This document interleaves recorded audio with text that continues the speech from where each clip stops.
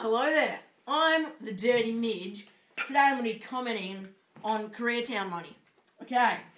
First of all, it's made of some paper shit, and I'm pretty sure I could rip it because I'm fucking strong as shit, right? There's some little circle things here, which I'm pretty sure you're just meant to draw dicks and faces and shit in there. It's a thousand yen or some shit, which I'm pretty sure is like two cents here in Australia, buddy. Got some Nippo Ginko here, which I'm pretty sure is one of the guys from RFB. I'm not sure though. But, uh, I better get call Harry Big for Max, that. Big Max lad. Uh, some flowers, even though flowers don't grow in China or wherever. Uh, a little, a little circle with some snakes or some shit in there. Pretty sure this is a maze or something, some game you're meant to play on it if you're bored looking at your money. Uh, some guy who's obviously wearing a wig or some kind of toupee object hair thing. Some some numbers. That's probably like their population number. I'm not sure.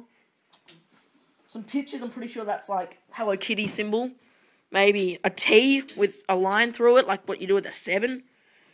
Uh, a box with a line through it. A fucking. What else is there? Not much. That's how fucking boring this note is. Just take a second look at this guy's fucking hair. Yeah, What is that? wish I had hair like that. He's got a bit of a mustache going on as well. Ah, that's pretty much Koreatown money. Till next time, I'm the fucking dirty midge. Good.